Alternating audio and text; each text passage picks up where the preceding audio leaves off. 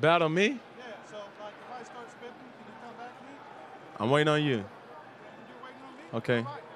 So let's hear this. I can't believe I'm freestyling Cam. Kind of nervous, but I guess that's just the way I am. Hey. I'm the real deal, man. I'm Coca-Cola. Yeah. You're a fan of. You had a nice season, but you still lost to Atlanta. Okay. You call yourself the Panthers. I think they're related to, to a cat. Yeah. But you stole the dab from Atlanta, so I'm gonna call you a copycat. A copycat. Need to be up the mic. What's the camera? Okay. He talking about my dab. He talking about my flow. But it's one thing that you need to know. Even though you a good fellow, I don't think you got swag because your shirt is yellow. It should have been Carolina blue. Something that you should have thought, something you should have knew. We're chilling in the Super Bowl with a lot of media. Man, I hate talking to the media. But it's all good, it's all great. Man, I look at my team, man, them boys straight. I'm straight out College Park by way of Atlanta.